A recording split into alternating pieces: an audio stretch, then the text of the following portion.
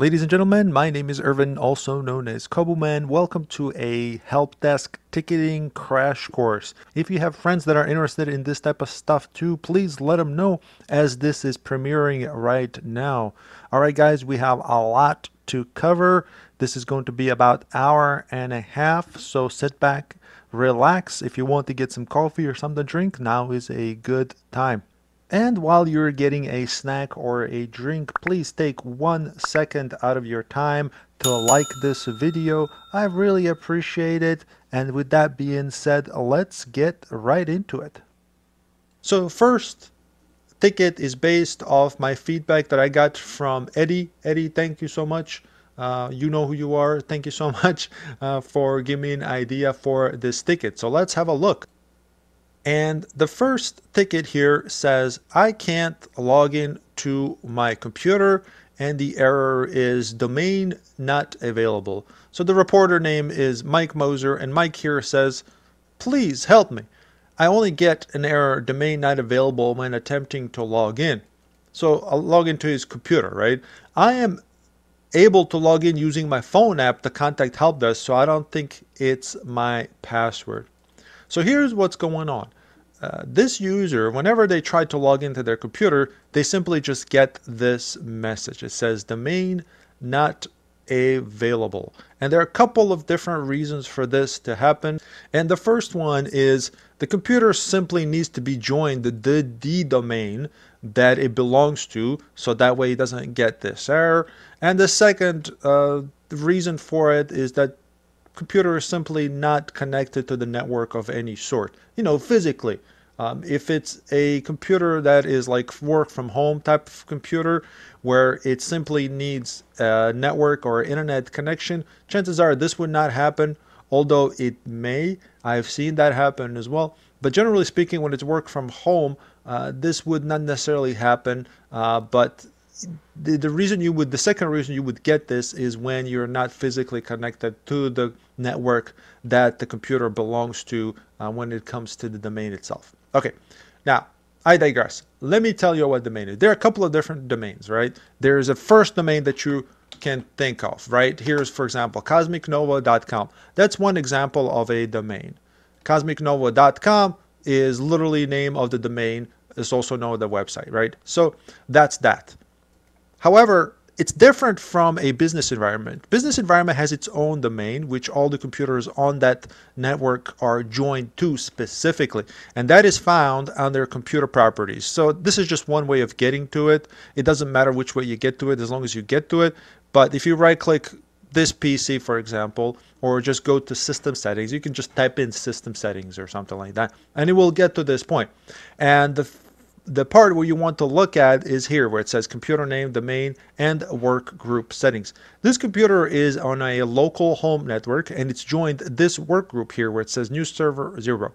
In a business environment, it would literally say domain here instead of work group and it would give you the name of the domain, which looks like this here.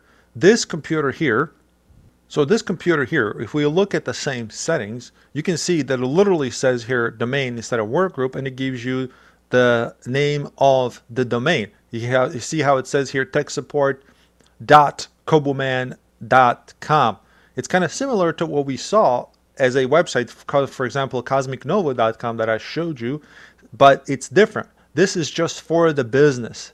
That's the name of the business. And that's what is going on with this ticket. Again, let me show you here comparison real quick. This is what my local computer looks like. You see it says work group instead of domain. But then this one here, here it says domain.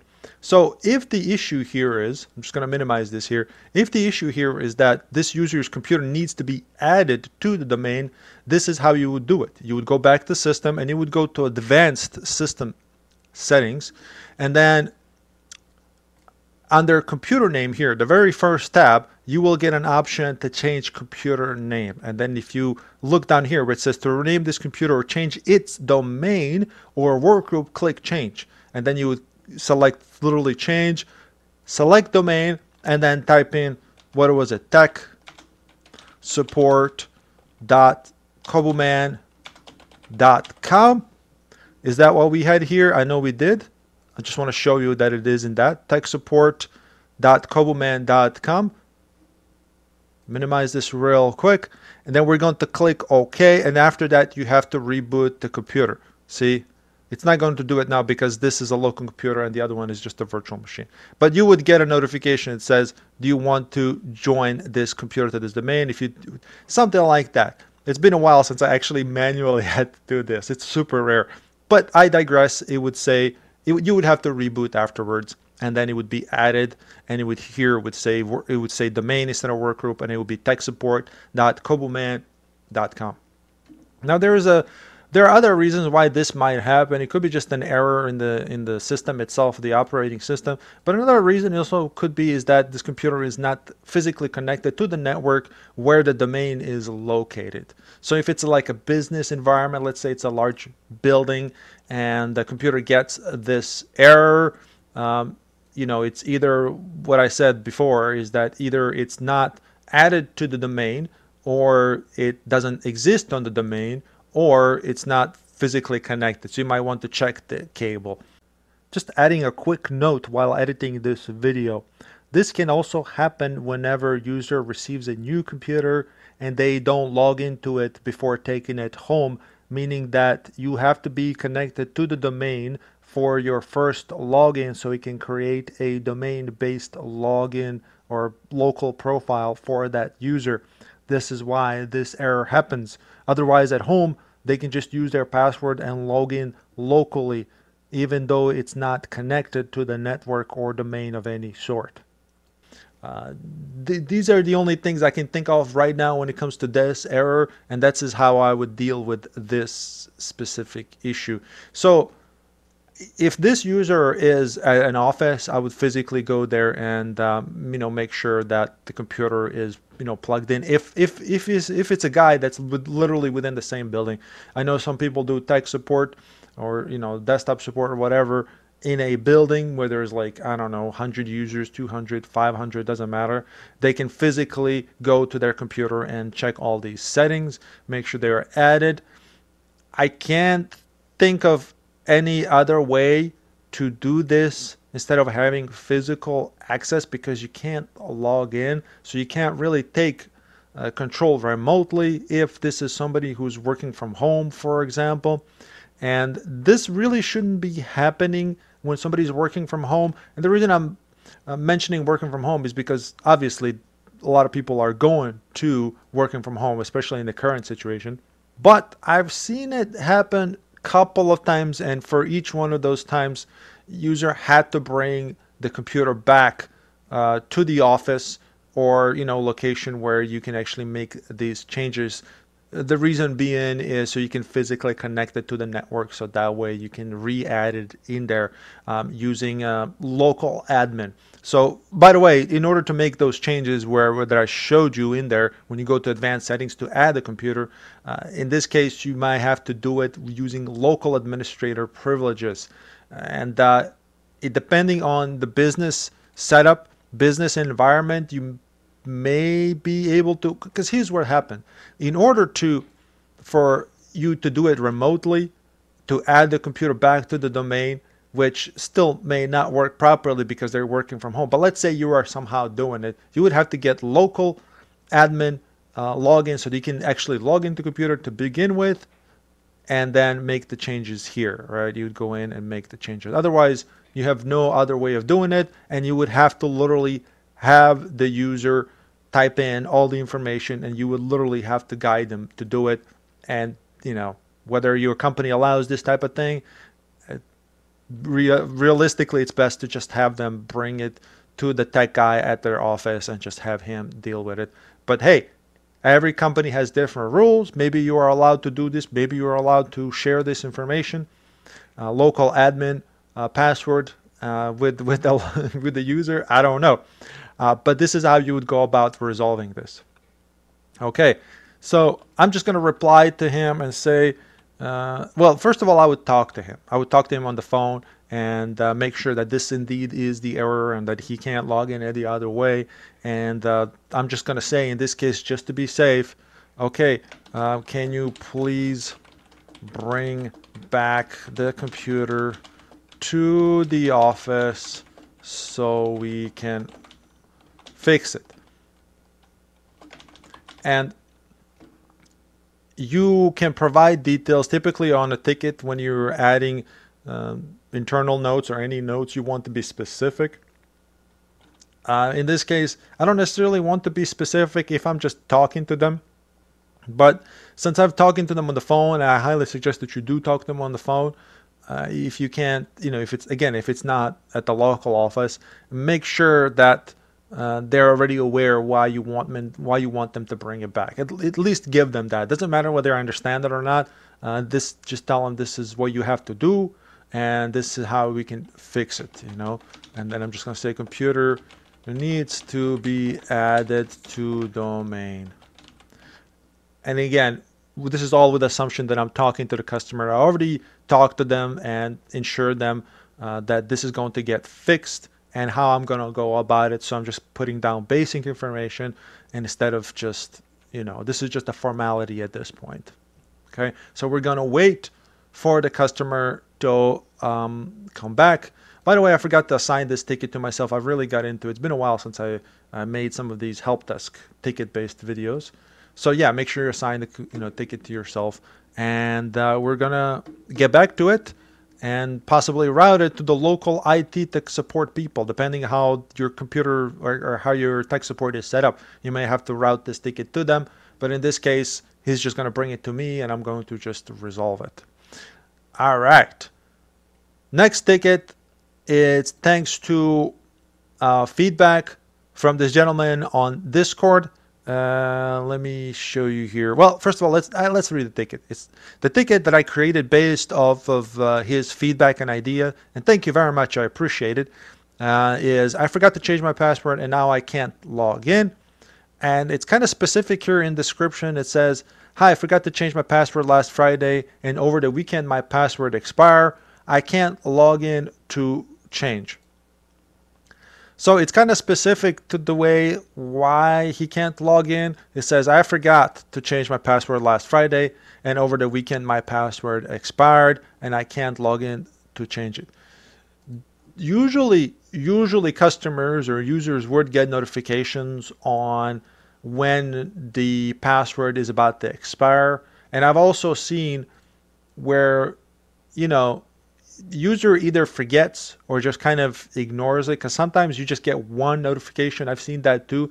It's only one notification, like 14 days before it expires or something like that, uh, and uh, and that will be pretty much it. And then they forget about it. But the reason I made this specific ticket is in a scenario that this gentleman on Discord described to me. Again, I appreciate your help.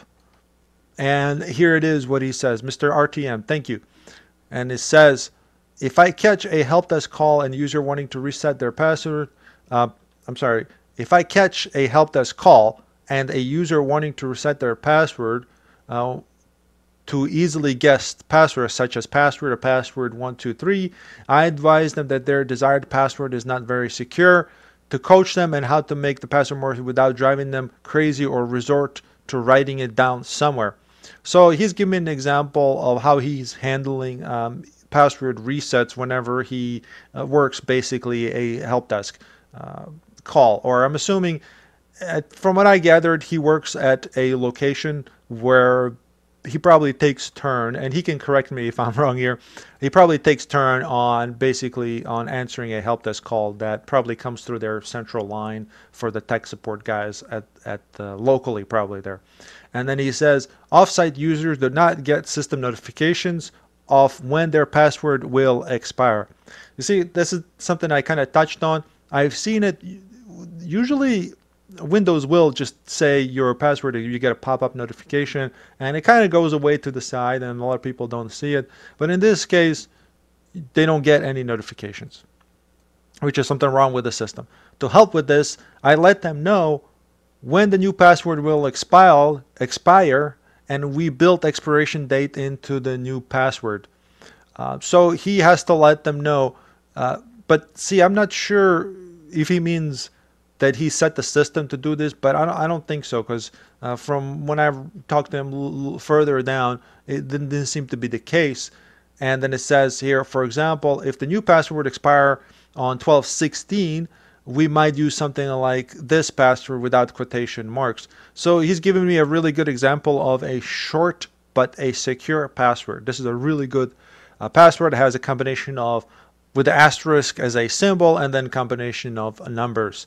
And then it says I tell them with I tell them about one of the passwords checking checking sites and on one of the sites the password check results are that that would be take computer 23 years Okay, so he's basically giving him an example of, hey, this is a secure password. It's really simple to remember. But if you want to test your password and how long it would take to crack, you know, he's basically uh, saying that uh, to the user that the password is very secure. They don't necessarily have to worry about it.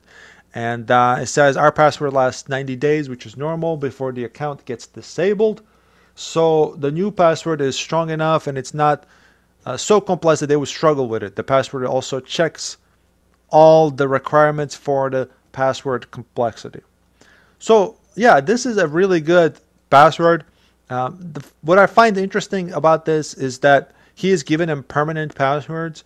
Typically, in a business environment, uh, what you want to do is give them a temporary password. It, it again, it, this highly depends on the environment on what business prefers. Uh, but when it comes to security, you you realistically you realistically want to give them a temporary password in Active Directory. So if we go to Active Directory here again, and uh, again, I'm sorry. Well, again, well, yeah, again, because I made a lot more videos about Active Directory, and uh, so yeah, it's again, and uh, it's just kind of finicky here. I had to send them send it alt control delete so I can get to the login part of it. Anyway, so when you typically go in and let's find Mike Moser here. Mike Moser. And you know, somebody says my password is expired. You would just basically change their password and give them a temporary password meaning that whatever I type in here for the new password, I confirm password, and then leave this checked, which is checked by default. It says user must change password and next log on. It's a temporary password. So whenever they log in, they will create their own, hopefully in a perfect world, a secure password like this gentleman suggested. But since in his uh, situation, in his business, the notifications for the password expiration have been expired and probably for some other reasons too. Uh, probably because they can't log in. Uh, he has to give him a permanent. This is I'm assuming these are remote.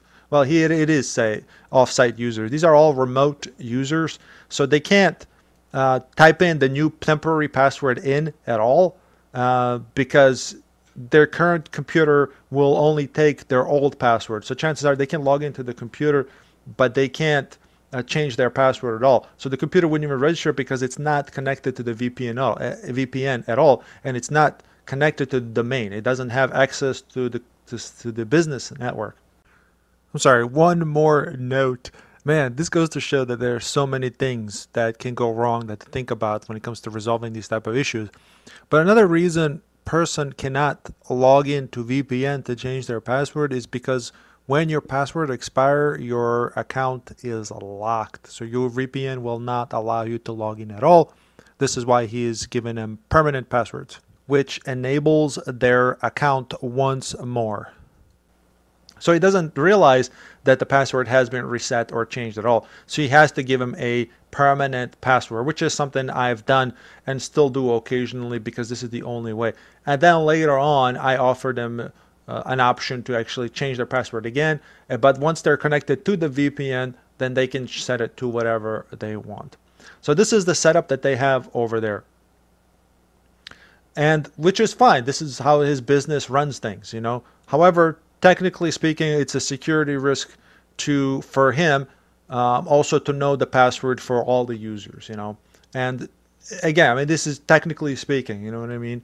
If the user is fine with that, um, you know, that's fine. This is a very secure password.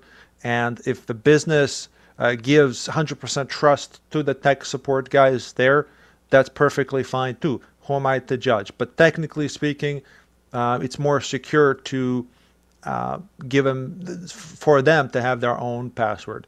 I, I mean, you can argue this back and forth. Uh, I can see, um, I, I, can argue for both sides either way, as you can tell. But you know, in this case, this is what's uh, this is the situation for this gentleman. And then it says here, users. And then I asked them uh, because I wanted to clarify. Uh, does this user not get a password notification with VPN? And then and then I realized that they were off-site, so chances are they wouldn't even get it. Uh, but because the, the, the notifications are not working to begin with for some reason, so even before it expired, they didn't get it. But of course, if they're not on VPN at all, it's not gonna. You know what I mean? It's what is there to send if there is no connection? What is there to send a notification if there is no connection? Just like you get notifications for YouTube or any other website, you have to have network connection. In, in that case, would be outside internet.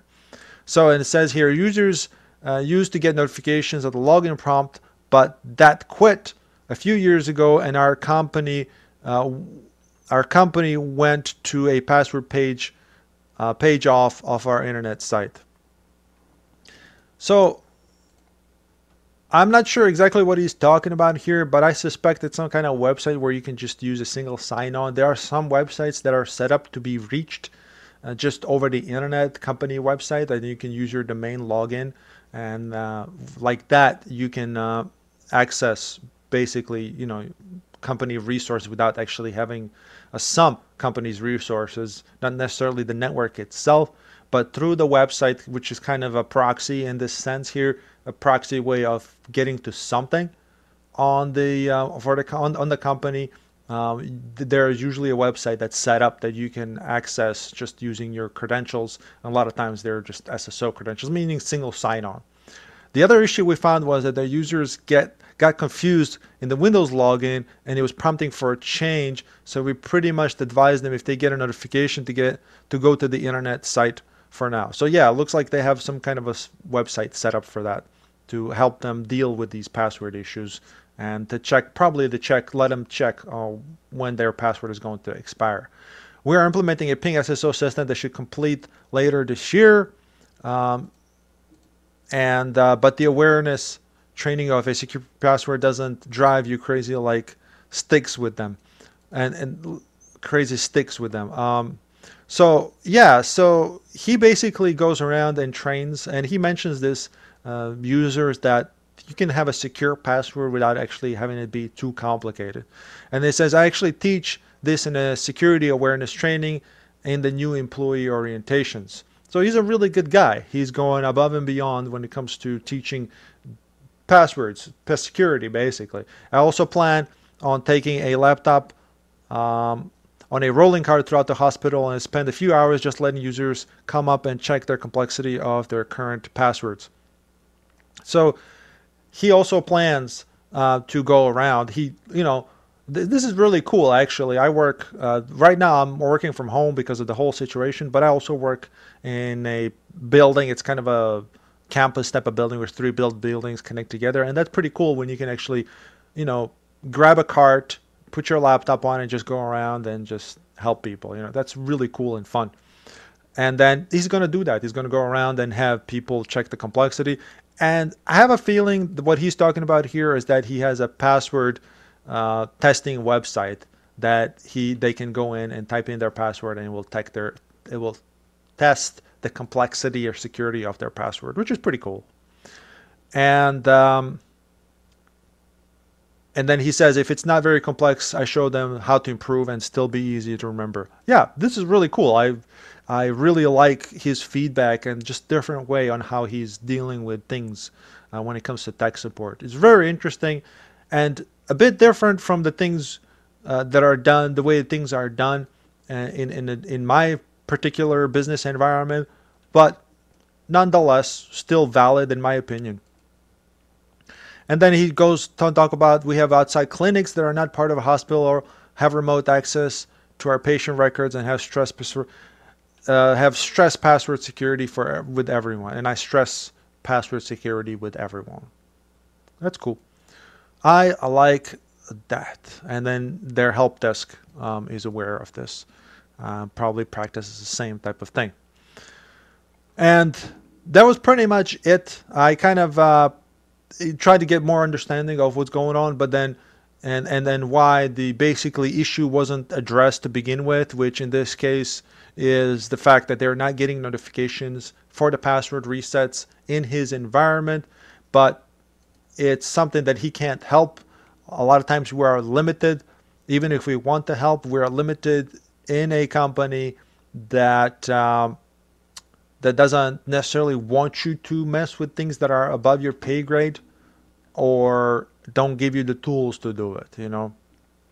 So the way I would deal with this issue is same way I would actually uh, call them and talk to them, especially if they're a remote user and set up this password just like he did it. I would give him a permanent password. I, I made actually a video about this and which I dealt it with the same way. Um, it was a, I think the video is called VPN password or something like that.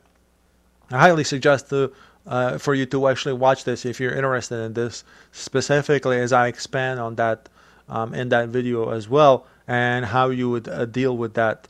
But yeah, if you know if the password has expired and they can't change it, I would do the same thing as this gentleman. I would give them a, a permanent password and uh, offer them to uh, basically reset their password again so that they can get a prompt to change it again.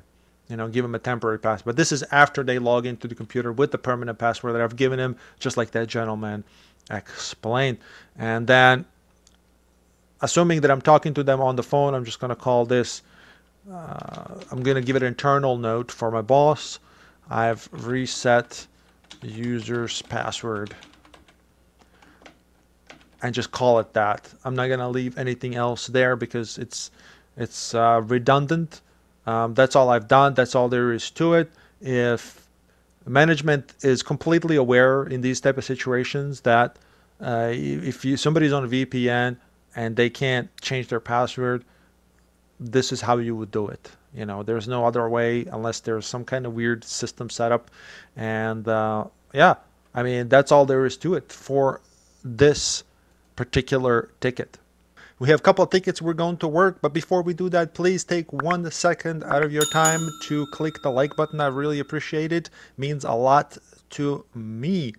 The first one we're going to actually work is this one here where it says my printer is not working. Typically you want to work tickets that are in order. For example, this one says ISD 34 and this one says ISD 35.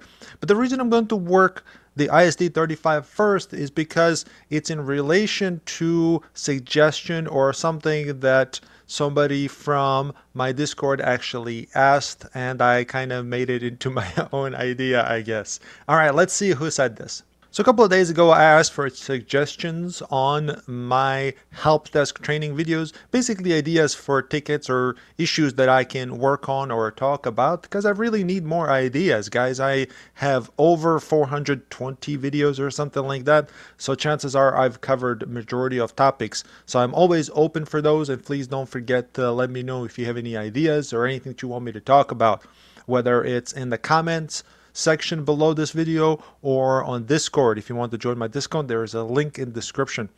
So the idea I got for the other one for the printer ticket is from Mr. Rookie Bob. So Bob said, "Is there a way to tell if device if device drivers are installed correctly, short of a device manager?" And he said, "Had an old machine that I've installed, uh, that I've reinstalled, and is network uh, wouldn't connect via Ethernet and device manager said the driver was up to date. Had to manually download from the site and install before it started working. So basically what's going on here, he's saying that uh, everything looked fine in the device manager uh, when it comes to the Ethernet adapter that he had installed. And let me show you how that looks like. So if I go to the device manager and look at the device manager, and in this case, what was happening under the Ethernet. Uh, everything looked fine, but yet Ethernet did not work. By the way, thank you very much, Bob. uh, for uh, basically giving me that suggestion, which I kind of made into a printer issue. But I will talk about specifically what you mentioned. So he said network adapter looked fine. So in this case, for example, we have Intel R Ethernet connection adapter and that's the physical one. The other ones here is for the VirtualBox and one for Hyper-V. So they're virtual adapters that are tunneled, uh, that tunnel to the Intel R Ethernet, which is the physical one. So what he's talking about that it looked normal, everything looked normal. There are no um, issues in device manager. What usually happens is when you have an error, uh, in, when when driver didn't install properly or something doesn't install at all, in device manager, usually on the bottom here, there would be a list of things with exclamation marks on them. In his case, it looked fine, but it still didn't work. So if you look at it, properties, uh, you know, everything looked fine. It says device started working properly, this and that. But it didn't start working until he actually went to the website for the specific hardware that he has and installed that specific driver. And this can happen uh, when uh, Windows operating system installs generic drivers. And uh, it used to be worse before. And uh, you can see here he mentioned it's an older machine, so chances are it's an older operating system as well. It has gotten better with Windows 10 with Windows 10 operating system uh, because of that whole plug and play thing gotten better. Although they started suggesting that I think in Windows XP times, maybe even earlier, maybe Windows 2000 or something like that. Basically, uh, what I had to tell him is there's no way, there's no easy way to tell aside. There's no easy way to tell aside from assuming that the wrong driver is installed. So yeah, if it doesn't work and it looks normal in the device manager, then chances are you have to go and actually download or update that driver specifically for that specific piece of hardware, whether it's Ethernet adapter, a graphics card, sound card, or anything like that. And then I said, I've noticed Windows OS likes to install generic drivers that sometimes do not work even though looks normal in device manager. So that goes back to me saying or talking about generic drivers or basic drivers that they use. Uh, I guess generic would be more a technical term. And this usually uh, especially true with older hardware, but it has gotten way better with Windows 10. Okay, now let's segue into this so yeah, basically to just kind of wrap this up, you would update your driver or install the driver package specifically for your computer, for your computer model or this and that. Okay, now let's hit the printer ticket because it's kind of in relation to that. Again, make sure you assign to this to yourself when you're working these tickets. This is a Jira ticketing system. And if you want to know or learn how to use this ticketing system, I have a specific video on how to use a ticketing system. In this case, we are just troubleshooting things. This ticket says here, my printer is not working. And it says, I've installed, I've, in, I'm trying to highlight it from the beginning. I've installed, whatever, I'm just going to highlight the whole thing. I've installed the printer this morning and there are no driver errors, but still not working. Please help me. Debbie. So Debbie says here she installed the printer and there are no driver errors. So just like we looked at it before, she would install it and let's go to, I almost went back to the device manager, but we actually need printers and scanners, which shows are printers that are installed. And this is how it looks like in Windows 10. It looks different and there's a way to actually see them listed differently in older operating systems. But in this tutorial, we're actually just going to do it the way Windows 10 wants us to do it, right? So here we are, printers and scanners, and here's a printer that's installed here. So we're going to look at it uh, as in like, okay, well, it looks fine, looks like it's installed. There are no exclamation marks, or I should say there are no errors, there are no big red X's or anything like that. It looks normal. And this is exactly what it's going on with a user's computer as well. She installed the printer and it looks fine. However, sometimes printers can also be set to use generic drivers. So let's look at how we can actually adjust this. So she, chances are, just install the software package on her computer somehow or through the means of whatever the company allows and uh, it looks fine, but yet it's still not installed. This can happen with printers that are, for example, uh, printers that allow multiple drivers to be used. So including generic and the one specific to the printer itself. So a generic printer should work, printer driver should work, but then it also gives you an option to change it to the specific to that printer that you have. So I know this sounds confusing, but what happens is, for example, a large printer maker, what they would do, uh, they would create a global print driver, for example, Xerox. And that global print driver will work uh, printer driver will work for majority of the Xerox printers that are out there, or at least a group of them. Maybe not all of them, but at least a group of them.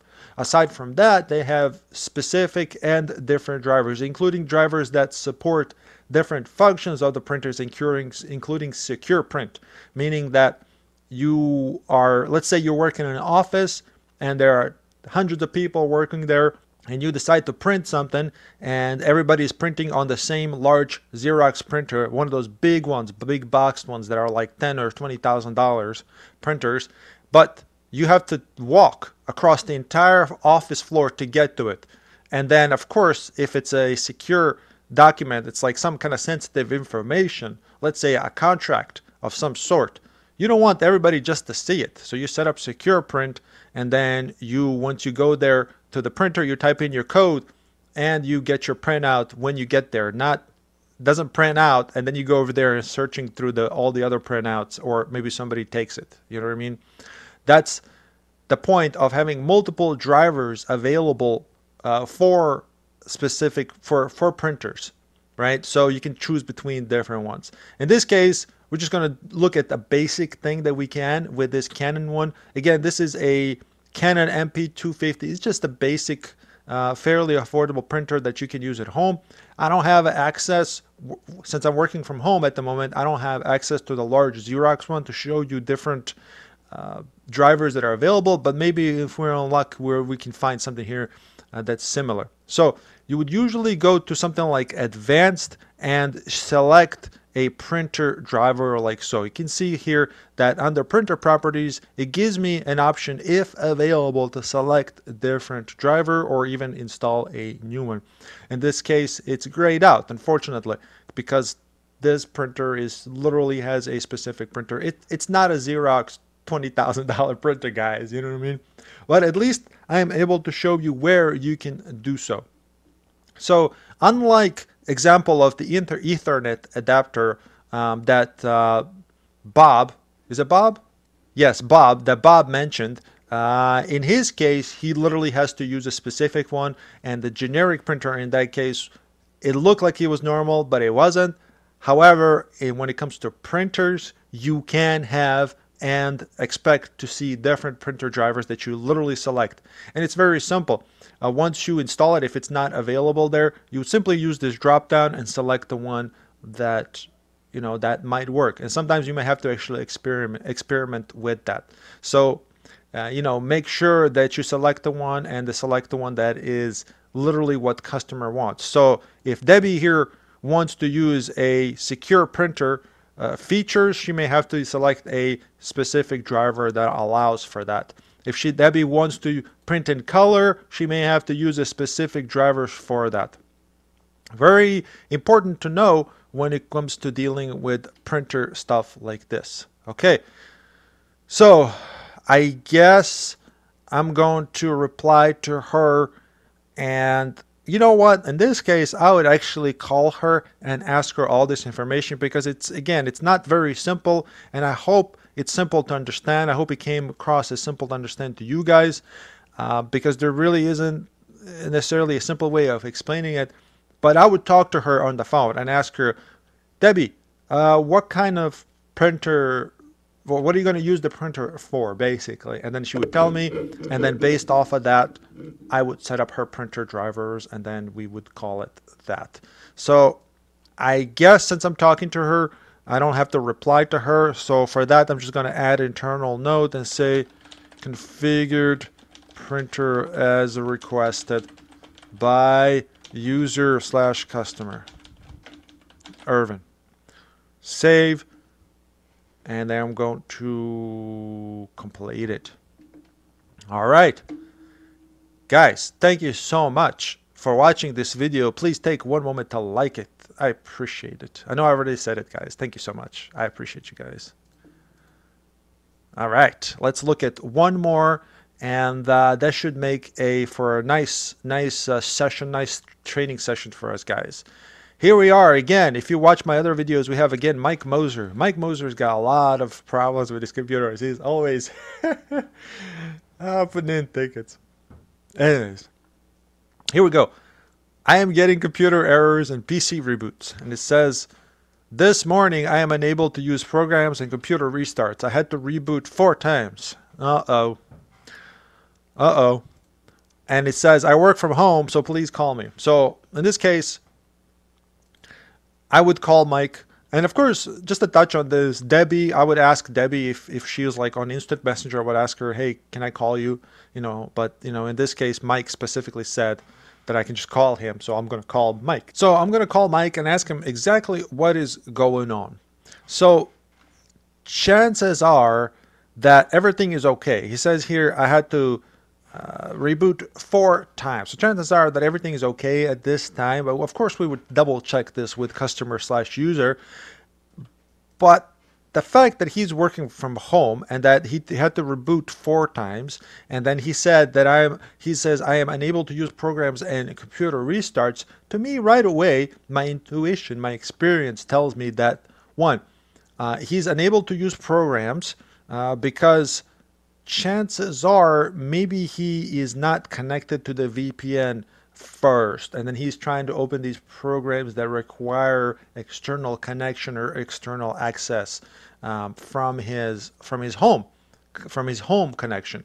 And then we got computer restart so maybe he is turning off his computer whenever he's done using it so it's not able to uh, install updates or anything like that. So i would make sure that he indeed is keeping the computer turned on while after he uses it because updates come overnight usually and then I would see which programs are unable to connect. And if he's telling me that he is trying to use these programs before he connects to VPN, then chances are he's not doing it right. So this may be a training issue. Of course, get on the computer and see if there are any issues. But chances are, if he says everything is fine, then what can you do? I specifically created this ticket um, so that way I can show you an example of uh, something that you have to do as PC support, and that is training. Sometimes you have to train people on how to use computers properly. So what I'm going to do, and I'm, I'm talking to the customer, but I'm just going to type here what I'm going to tell him. I'm going to say, okay, good morning.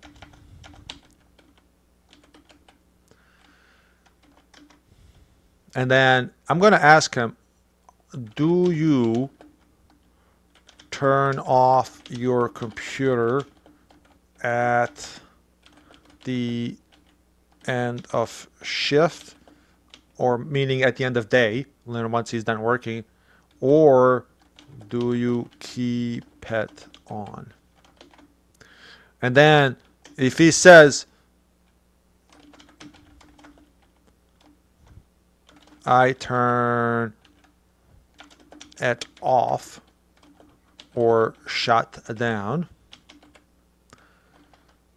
then I would say, please, scroll up a little bit, please ensure, please, I'm going to say this, I'm going to be nice.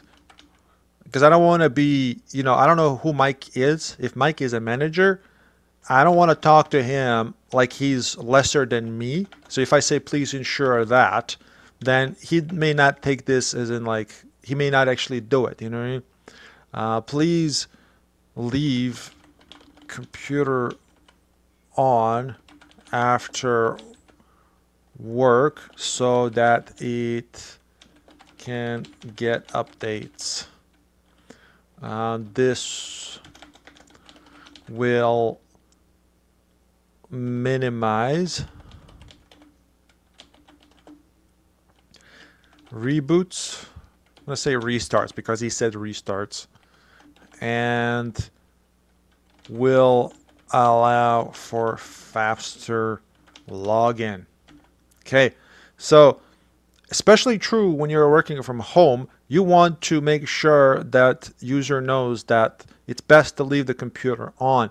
And if they're like, well, yeah, it's using too much power and this and that, I'm just going to say, well, it actually uses very little power when it's not being used. And we're going to say that as well. But but the point is we want to make sure that the computer gets all of its updates first. So if he rebooted four times, chances are that at least two of those times or let's say at least one or two times that the computer was just wanting to reboot no matter what he whether he did it manually or not whether he rebooted on his own to resolve issues or anything like that it doesn't matter. We want to make sure that the computer reboots uh, during after business hours when he's not using it. And then if he says well when i rebooted it took forever and this that well that's because maybe it was getting updates you know or the computer is slow, but chances are it was just getting updates. And then I would also say, uh, just to make them feel better off, because you know some people are, um, for the lack of better words, anal. They really want to do things their own way because this or that. They, if if some people think that the computer is using a lot of electricity, they may not want to keep the computer, you know, turned on when they're not using it. And I'm going to say computer uses very little power when not in use. It's kind of wordy what I said there, but it gets the point across. And then I'm going to say it uses around 8 watts compared to a light bulb.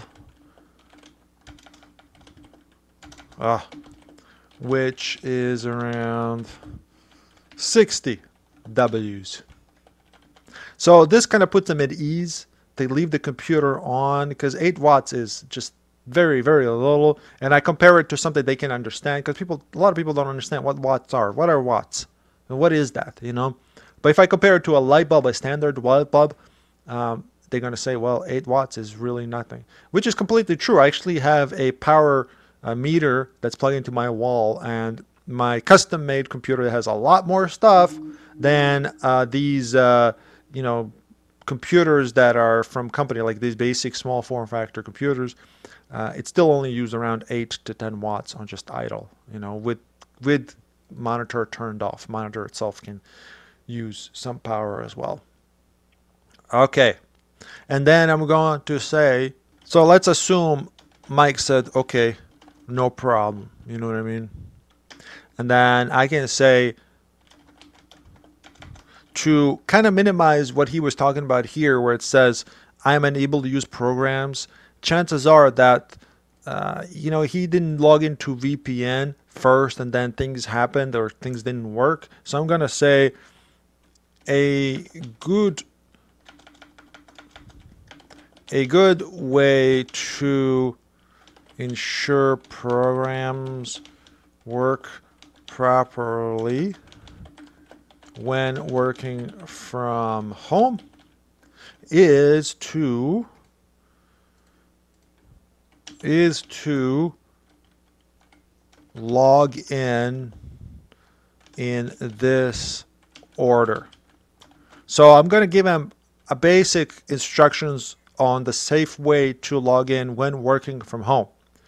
So I would say log into VPN first, then your IP phone, because you know he's working from home, so chances are he's using IP phone, and then everything else. This will ensure uh, well, I don't want to say safe, but I'm going to say, you know, let's let's make it full fancy. Pro active. Uh, blah, blah, blah, let's see. this will ensure proactive workday. How is that? A proactive. This will ensure a proactive work day. So that should help and give basic instructions because we always want to log into VPN first. Everything else that requires connections like an IP phone or anything else uh, will depend heavily on VPN being logged in first. Because chances are when people log into computer, they start to log into everything at once. Some companies even have like automatic have software that automatically logs you into like 20 different systems. And sometimes that stuff even starts to execute upon login to computer because it's set up to do so while you're at the office, while you're physically connected to the network, and it can do that. You know, you would imagine you log into your computer, you know, you lock your computer, you log into it, and then suddenly things start to execute. That's the automatic login system that they have in place. And when you're on VPN, none of that stuff is going to work or I'm sorry, when you're working from home, none of that stuff is going to work. You have to get on VPN first, and then it's going to work. So, you know, it, it's kind of a touchy type of thing that you have to kind of be nice about when it comes to explaining. Otherwise, Mike is going to come back to me and say, things are not working again the next day. So we have to make sure that that's minimized and that that's not happening. But if we provide training, especially if it's somebody let's say Mike already had an issue yesterday, and then you already helped them, and here he is, Mike, contacting you again. You know, we want to make sure that, you know, that you know he knows how to do things properly so that he can minimize issues that are happening there. All right, guys, if you got one second, please click the like button and if possible, share the video as well. I really appreciate it. It really means a lot to me. All right, let's get right into it. And we're going to work the first ticket here that says can't cannot add a printer and it just says error dot dot dot. And this issue is coming from our friend Mike Moser. If you're familiar with my video series, you know that Mike Moser has a lot of computer issues. So we're going to work that, work his ticket again. Uh, and here says here, when I tried to add a printer, I get attached error. So let's see what this error is. And here we go. It's a big error. It says Windows can't open add printer. The local print spooler service is not running. Please restart the spooler or restart the machine. So, I know that a lot of you who are watching this, who already know a lot of things about help desk, you probably learn about print spooler service. What that means usually is that you can't add a printer because the service has been stopped. And yes, you can simply enable the service. But why does this error come up to begin with? The reason for it usually is if a company decides to put restrictions on using the printer or adding the printer to certain users, to certain groups within the company.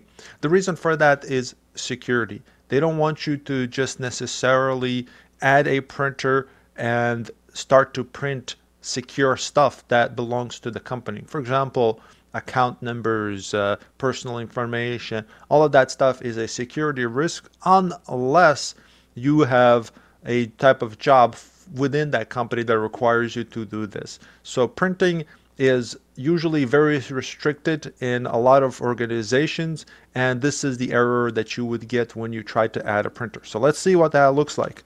Devices, printers and scanners, devices, man, they have so many different ways of getting to this point within Windows 10. Before it used to be simple. You just go to add a new device or something like that. So here's our printers and scanners in Windows 10. So if we click add a printer and um, it's gonna what it does right now it just kind of looks for a available printer that's available on the network or locally if there is nothing there and if you're installing it for the first time chances are nothing will come up you may get a list of network printers that are available but the chances are it may not be something that's right next to you. So let's say you work for a company that has, you know, two large buildings. Let's say it's just one building and there are three different floors and all of those floors have all together have 10 different printers. You will get a list of 10 different printers. And if they're not labeled correctly, you won't necessarily be able to add a correct printer. You don't want to add a printer when you work on first floor uh, but you add a printer that's on a third floor. You know, it doesn't make sense. So what usually happens, and this time nothing came up because there there are no network printers added or visible, at least. Uh, we have to click uh, the printer that I wasn't that I want isn't listed, and this is what happens. Otherwise, you would get a classic Windows uh, pop-up where it lets you add a printer. And this is what Mike is getting. Windows can't open add printer. So we know it's the print services or print spooler service that is not running. So we know that we have to go in and enable it. And that's perfectly fine. But there is something that I really want you to keep in mind. There are two different types of services. If you go to your task manager, the very last tab is services, right? These are the services. But there is another section here where it says open services. And this one is different from the services in Task Manager. It's completely different. So you're wondering, well, why? What do you mean? They're both named services. What's the difference? First difference that you visually see is you can see that there are things listed on the left side here and that are not listed on the right side and vice versa. For example, on the task manager services, you can see there is AARSVC and it's agent activation runtime. And you can see that as a first thing that comes up here, it's not that, it's ActiveX installer, and it's completely different. And you can see that I have it sorted by name, so that way you can see it here in, a, in alphabetical order. So what's the difference here? So if I go into the services of the task manager and I just look for a print spooler, right? It's called print spooler. It's not there. But why is that? Look at this. There's print notify, there's print workflow, there's another print workflow, and there are no other print things. You can see clearly that we are sorted alphabetically, and there's no way we, we are missing um, when it comes to, uh, there's no way that, that we're not finding it in here uh, unless it's just completely gone. However, if we go to this other services, which is, is the system services, and we just type in print spooler, it comes up right away. And then again, if you compare here, you can see that there are missing things. There, it's not, it's not there. But why is that? Well, the Task Manager print services is print services specifically for the user that's logged into this computer. It's not system services at all. And these services do not require administrator privileges for you to start them or stop them or do whatever you want with them. This is all for the user that specifically log into this, not the administrator services.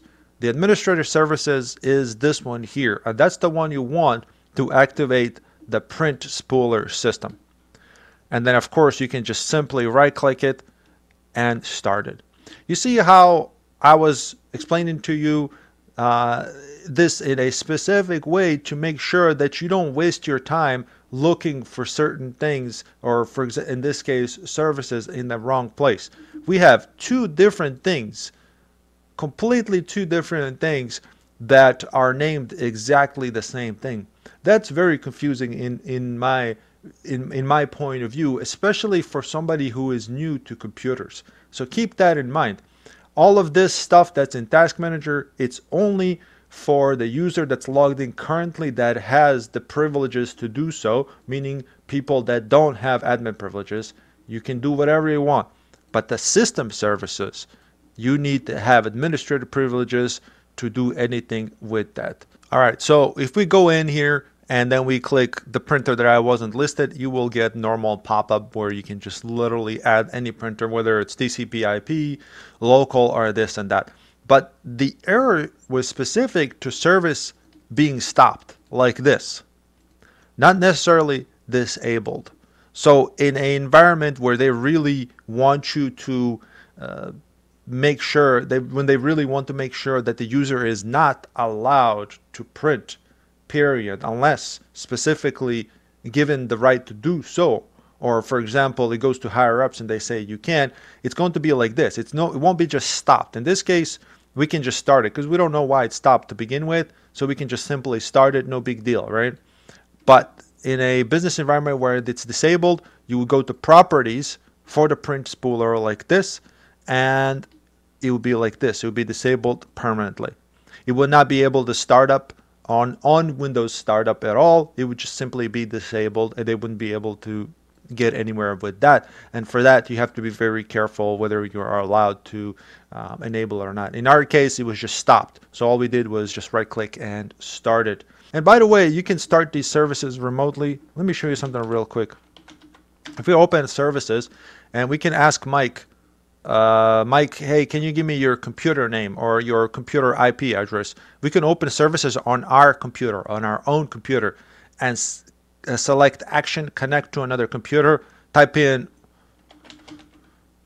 Mike's computer name, and then click OK. It's going to connect to it, and then you will basically get a same pop-up like this, and then you just go in and remotely start his service.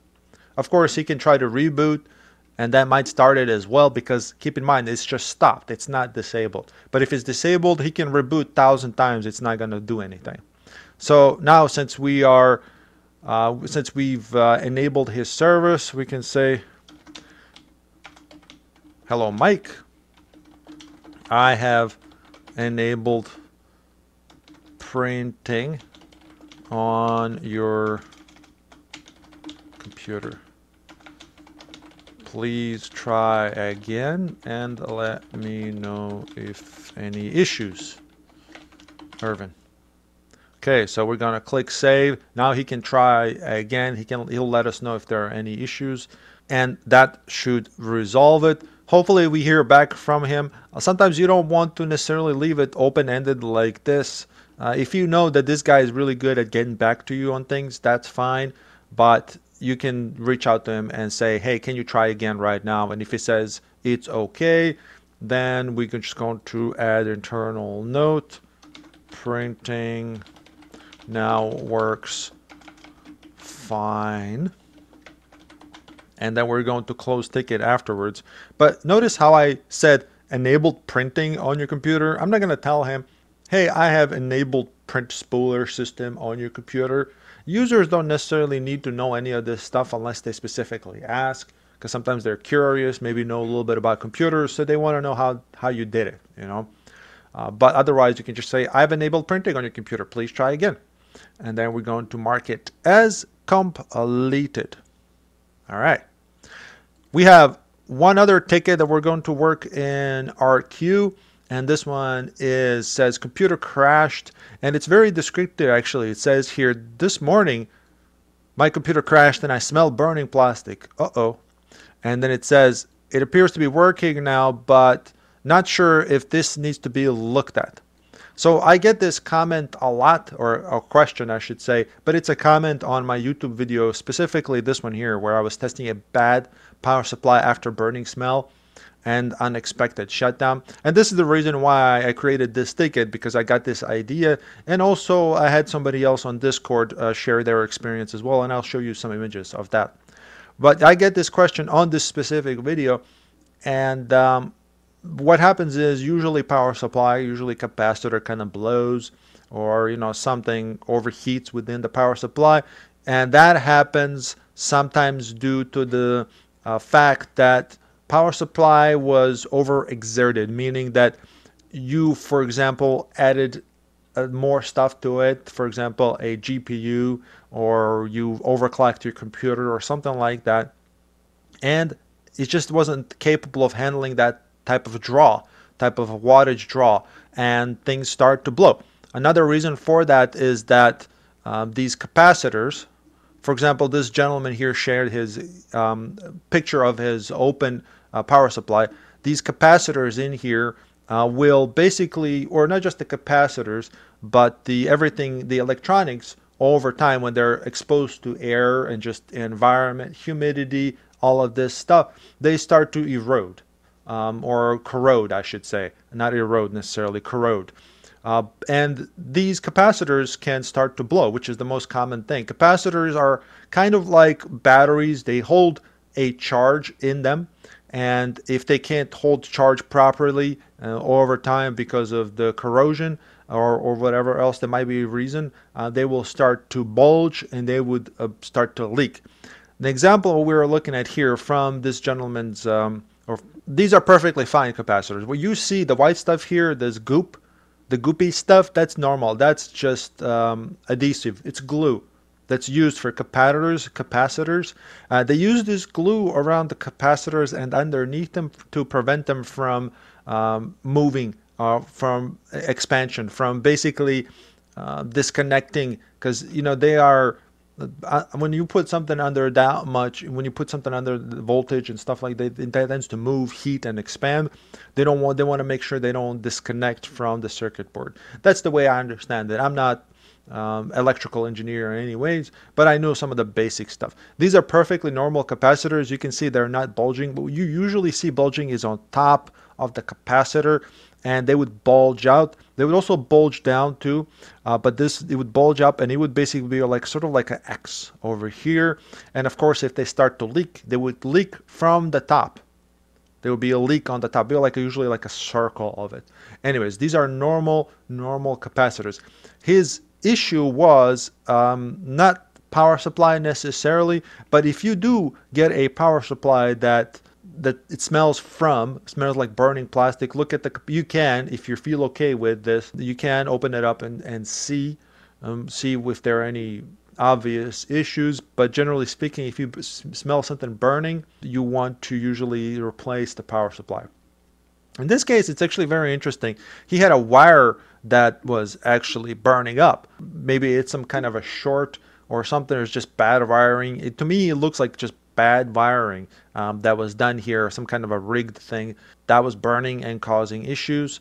And in the end, he just basically decided to see. This is how he had it. He was wondering if he should just, you know, try to solder it or or, or whatnot. Uh, but in the end, he just decided to get a, you know, replacement power supply, although it's cheap, I usually recommend the name brands. But in his case, this is what he can get. And I said in the end, well, might as well. It will be safer than trying to solder, use some kind of electrical tape like this or anything like that. So going back to our take it, in this case, it's most likely just bad power supply. We would have it replaced and then I'm going to reply to customer and say if I am help desk, uh, but if I am desktop support locally or you know just a tech guy, I would look at it and myself I would you know take it and look at it and see if the power supply is bad and replace it. Otherwise, I would say, um, well, you know, I would talk to them. You know, hello, it sounds like you have a bad power supply. Please take your computer to local PC Tech to take a look. Now, I'm only saying this because I don't know the exact situation of this person. They might be working from home or whatnot. So I, you know, I got to give them an option. Uh, but otherwise, I would look at it myself and replace it, replace the power supply, or if it's under warranty, I would contact the vendor and have them come out and have it have them replace the power supply. You know, if it's a computer under warranty, uh, this is what usually happens. You just call them and they do it. You know, it's really easy to replace the power supply. Your computer may still work even if it blows up something. And that's the point of my video here is that what happens is the power supply that I'm testing here is actually the, the so it's the same thing that happened, but it actually still works. So I am testing it to check the voltage. And it's been two years since I made this, but I'm pretty sure I actually found that some of the voltage is not right on some of those pins. And that's exactly what happens. You still may have a working power supply, even if a capacitor goes bad or something like that, but you may be getting wrong voltage, uh, wrong voltage to the motherboard or any of your computer components, which can cause even more damage. So this is why it's better to might as well just go ahead and just get a replacement power supply, even if it's just something you know fairly cheap like this, no name. Um, you know that's better than trying to risk it and cause more damage to your computer. All right, moving on. So In this video, we have a couple of different issues. The first one is RDP sound issue, and then we have another ticket for a local admin account that is not working.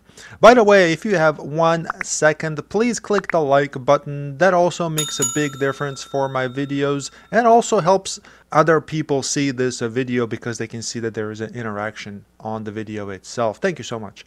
Okay. All right, so let's look at the first ticket we have here, and that's RDP sound issues.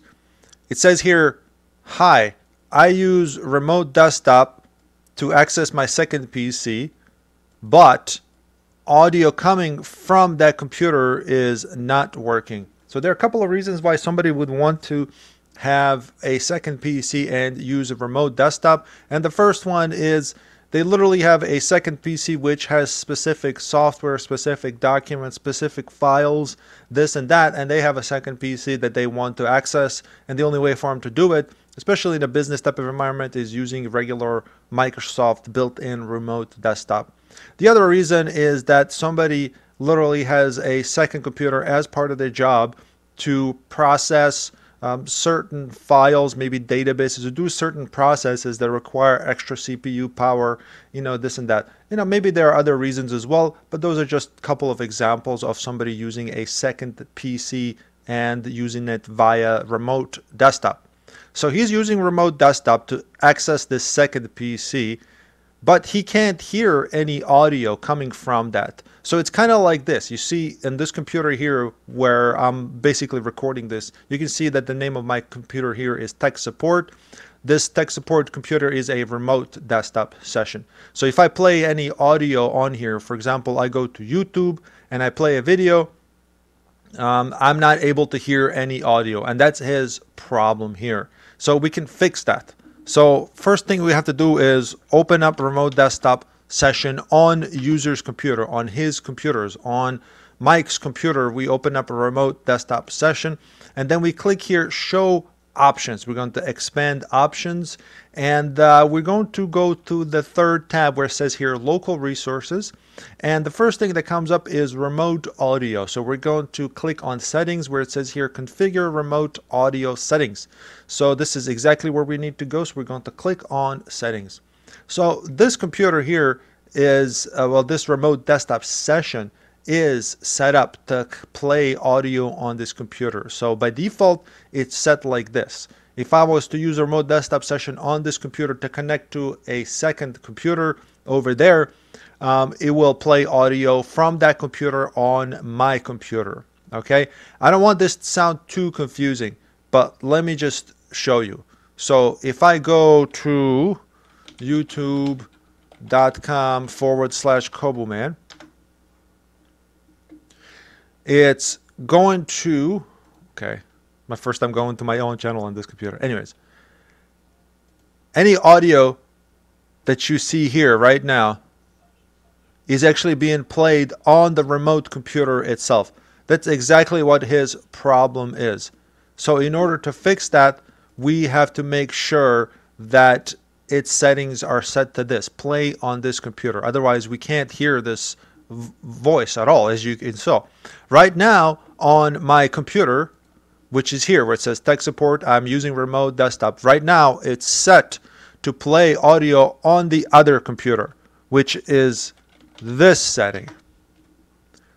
So on the second PC, wherever it may be, this is what it's set like right now on my computer that I'm using right now. It's playing on remote computer right now.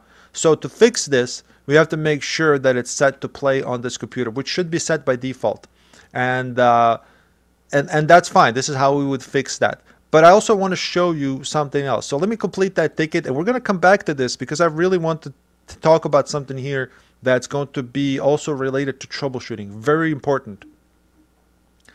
And let's wrap this up.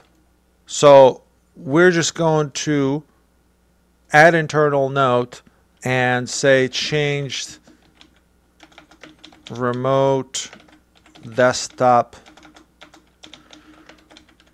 settings to play audio audio on a local computer Okay. And then we're going to, of course, have him test it, you know, this and that. That's fine. This should be easy ticket. And then we're going to close it, of course. Of course, don't forget to assign ticket to yourself as well. Very important so you can get credit before you close it. And since we know Mike, Mike Moser, we've worked with him many, many times. Uh, we're going to just close it. We're going to let him know, hey, should be fine now. So we're done with Mike. But I do want to go back to that remote desktop connection to show you something very, very important. So let me explain what I mean. If you get a ticket that a user cannot use their local headset, for example, they have a headset somewhere, their user is somewhere else, and you need to troubleshoot their headset sound issues. And you can't because if you use remote desktop session, let's say you're limited to only using remote desktop session, it's going to look just like this. You remote into their computer, just like I am connected to this tech support computer right now, and it's going to look like this. It's just going to say remote audio. There's no headset to select. There's no audio to troubleshoot. Here, let me show you. If I go to sound settings here, it just says remote audio. There's nothing else. There's no headset to select. So you would assume that something is wrong, right? Well, that's that's not right. The, the problem is is actually this. You have to go to local resources before you connect to that computer. You have to go to local resource on your remote desktop session, click settings and select play on remote computer, just like we had it previously. And then you go in and then you type in user's computer name, you click connect and then and then we can make changes to the local PC. now it's looking looking like it's different. Uh, it made it made different settings here you see? Now we can select speakers that are Realtek which is the typical uh, you see how I got confused because I made the change right away? It took a little bit to configure. But yeah now we can actually see that there's Realtek uh, definition audio. Same thing if I go over there and plug in a headset you will see it come up as well all right. So you probably saw you probably saw that I plugged it in. Now we can troubleshoot that headset on that remote computer. So you would just say to the user or ask them to plug in their headset if it's not showing up like that and then you'll be able to do it. Otherwise, if you don't change it to play on the local computer like I showed you, you won't be able to troubleshoot it and you will just assume that there is something wrong with the audio. You know, you have to make sure that it's set play on remote computer. You know, otherwise it's, you won't be able to troubleshoot it. So that's something to keep in mind if you only have remote desktop connection as the available resource of taking control of somebody's computer and troubleshooting these type of issues. All right. I hope that comes off as something that you can easily follow because it is kind of confusing and but it is what it is. This is how you have to kind of go about it and to, to troubleshoot some of these weird issues that might come up. Okay, dokie. All right, so let's look at this other ticket. It says my local admin account is not working, and it specifically says here, hello, I have a local admin account to make changes on my PC, but it's not working. Thanks, Larry. So this guy was given specific local admin account to use for some reason, and of course, uh, don't ever if you have if you have the ability, don't ever give somebody a local admin account password uh, because of the security reasons. You we have to you know double and triple check to make sure that this person is actually allowed. So we're going to go with that assumption. All right, let's assign the ticket to ourselves. We're going to work that. We're going to contact him and ask him, hey, what is the name of the local admin account that you're trying to use? So and then he tells you what the name is and then we're going to search for it in on our computer. Now this is not to be confused with the main admin accounts. Those are different. They will not be listed under local admin users. So we're going to just type in users here to get to the point where we can add or edit and see which users or which accounts are available there to begin with. This is just one way of looking at this. This shows you some administrator accounts. And the other way is if you go to the system settings or system properties, and then we look at advanced system settings, and then we click on user profiles, we're going to see all the accounts that are listed here. However, there is a big difference here, what we're looking at. We're looking at two very different things. And I want to kind of emphasize this. This is why I created this uh, fictitious ticket is that what we're looking at here is local accounts that are on the computer.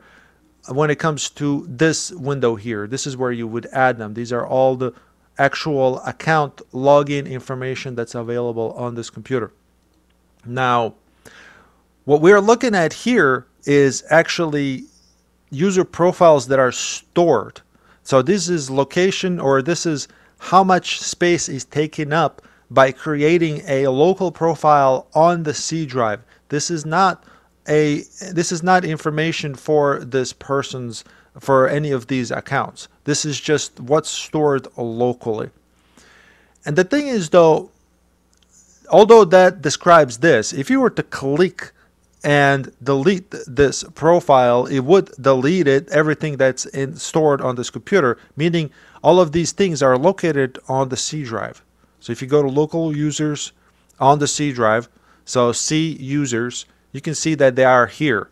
Here is the BUCO, which is the first one. Here's the Cobuman test account, which is this one.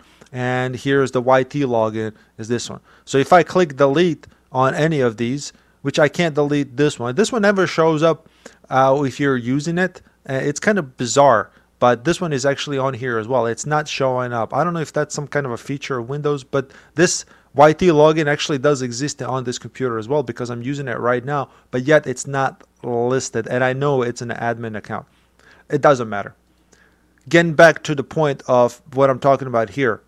If I select, for example, this one, BUCO, and then I select delete, it will delete everything that's inside of this folder. So anything that's inside of here, desktop, documents, everything, everything will be deleted.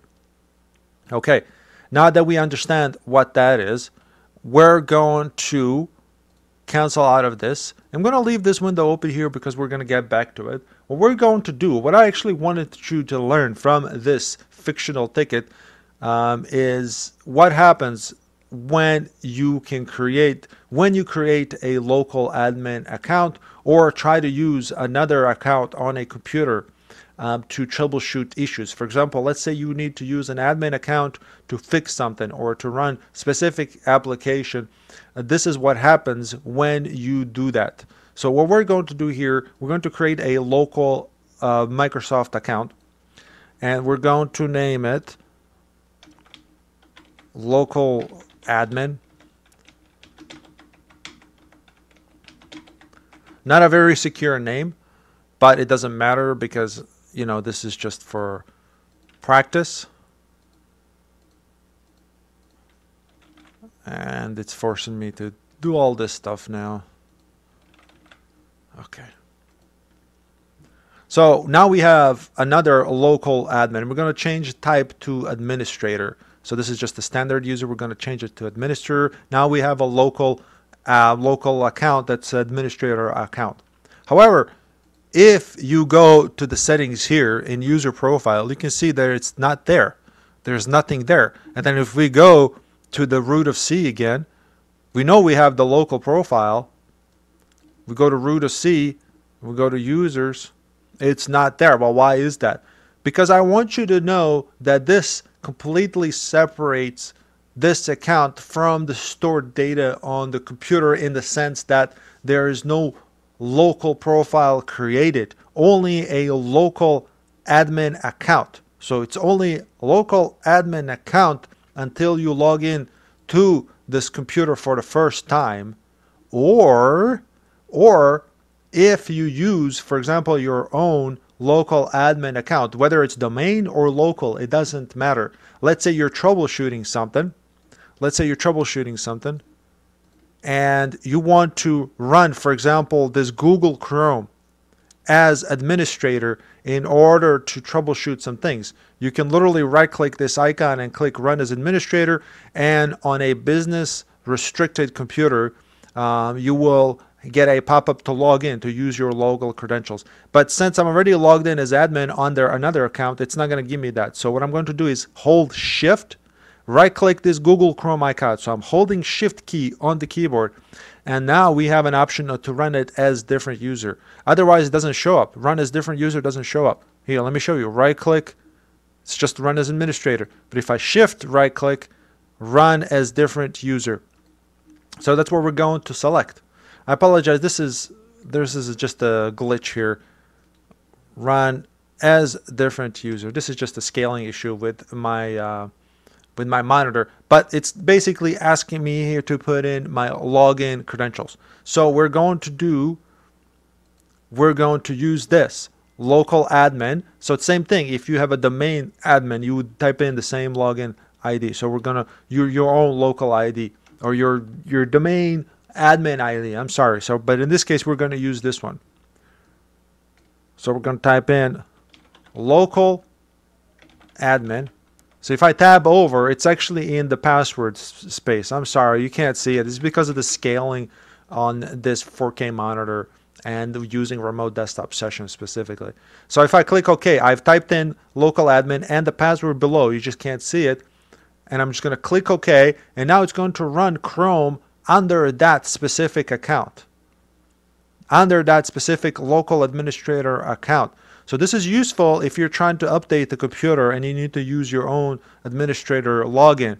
So right now, this specific window and only this window is running under that local admin and separately from this other ticket window. It's run separately. To prove it to you, we're going to go back to our folder and we can see now that there is a local admin profile created because we use that local admin to run as as admin on this computer. So it actually actually had to create settings folder inside of that. You can see that. You see? So this is how these things work. And let me show you this here. We we don't need this here anymore. But I want to go back to here, user profiles. Now when we click on user profiles, we can see that local admin show up and it's right there. And you can see it's only 78 megabytes. That's very, very tiny. And usually when a user logs in for the first time into computer, it's going to create a much larger local profile. But the reason this one here is only 78 megabytes is because it only created a basic sort of like a template information for this local admin profile on this computer just so we can run and store settings for Chrome. Okay? And then we're going to, let me see if I can open it here. And we're going to, and here it is. You can see that there's some basic documents here, and then there's app data. And then if we go to, for example, local, Google Chrome folder is there, along with Microsoft. It's just the basic Microsoft stuff that comes with default um, default settings for the Microsoft operating system.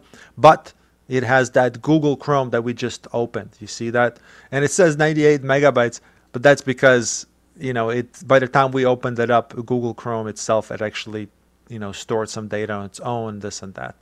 And uh, so that's how that works. But the great thing about this, if you have somebody, a remote user, who's never logged in to a computer before, let's say somebody takes their computer home and they can't log into it for some reason, but you have remote desktop access to it, uh, you can uh, basically do the same thing to get it going. So it's kind of a workaround, but uh, it and it's kind of confusing, I know. But as long as you can get this local add local profile uh, created and get it going, that way when somebody locks their computer they can literally type in the same thing and just get access to this without having to be connected to the network in order to log into this computer for the first time. Okay, that was quite a bit, and I hope this wasn't too confusing. Hopefully, it gives you an idea of what's going on with these profiles. And again, whether it's a local profile or domain profile, it's going to act the same way if you run it as admin or run as different user. But this is what happens in the background while you're doing all of this stuff. Okay, so I'm just going to reply to customer and say, hello Larry, I've created a local admin profile named local admin. And the password is you know xxxxx whatever. This is not necessarily what you want to do because then everybody will see it. Matter of fact i would just tell them what it is but we're i'm just going to pretend like we're doing this which you shouldn't necessarily do at all because you know whoever looks at your ticket and god knows how many people they'll know what the local admin uh, login id is and password so you might want to just you know tell him or i don't know whatever the the the, the settings are or whatever the setup or requirements are for the company uh, when it comes to dealing with you know giving out passwords like this and login ids as well all right guys I hope you like this video. Please take a moment to like, share, and leave a comment. Let me know if you have any ideas for future videos, and I'll see you next time. Bye-bye.